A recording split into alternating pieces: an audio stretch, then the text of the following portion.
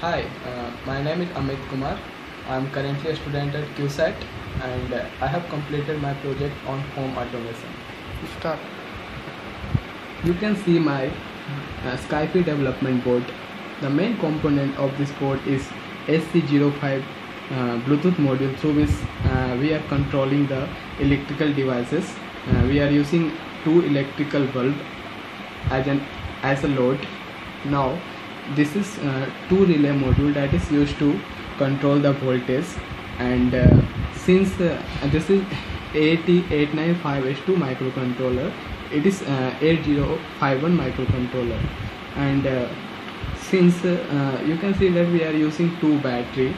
This is 9 volt battery. And since this bluetooth module and microcontroller operate at 5 voltage so we are using IC7805 regulator that is used to convert 9 voltage into 5 voltage 9 volt into 5 volt.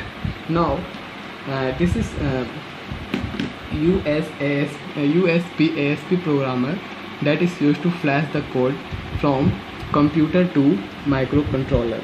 Now uh, now you see that uh, I'm using Arduino Bluetooth control device this is an this is an app uh, from it I am controlling the electrical devices. Now you can see that Bluetooth not connected so I am putting it as I am putting it as connect. Now I am getting HC05 Bluetooth module that is this Bluetooth module. So I am putting it at connect.